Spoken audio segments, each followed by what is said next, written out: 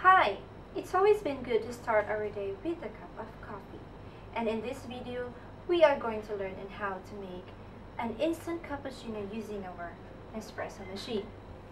Things that we need, of course, are an espresso machine, water, milk, and a pod of cappuccino.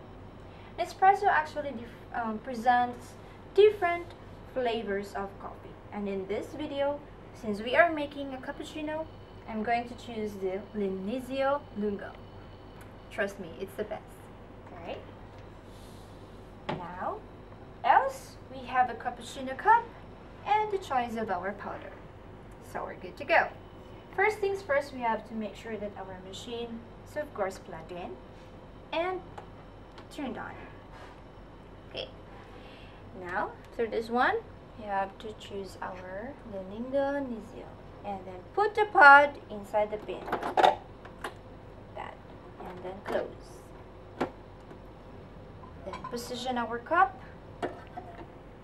and make sure that the two nozzles from the coffee maker and the milk tank is pointed directly into the cup.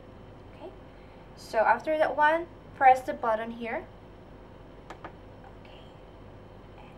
going to make your cappuccino. Now guys, as a reminder, when you turn on an espresso machine, actually the four buttons here will be blinking. And then you only have to press the button when all lights are going to be steady. It's a signal that it's ready to make. Alright, so while waiting for your cappuccino, you can always do something else. You can always wash the dishes, take care of your kids, you can do anything. Chit chat or browse your Facebook. Right? It's now making the coffee.